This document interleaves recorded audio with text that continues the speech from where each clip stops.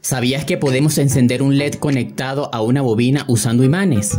Así como lo escuchas, sin pilas ni baterías, con imanes. Mi nombre es Carlos y en este video descubriremos cómo hacerlo. Necesitaremos varios imanes de neodimio y una bobina de mil vueltas de alambre de cobre aislado con un LED atado a sus extremos. Si no sabes cómo hacerla, puedes mirar este video de aquí arriba. Cuando acercamos y alejamos rápidamente los imanes de la bobina, el LED se enciende. Pero si lo mantenemos estacionarios dentro de ella, no ocurre lo mismo. El LED permanece apagado.